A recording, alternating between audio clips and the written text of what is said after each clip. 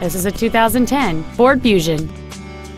It features a 2.5-liter four-cylinder engine and a manual transmission.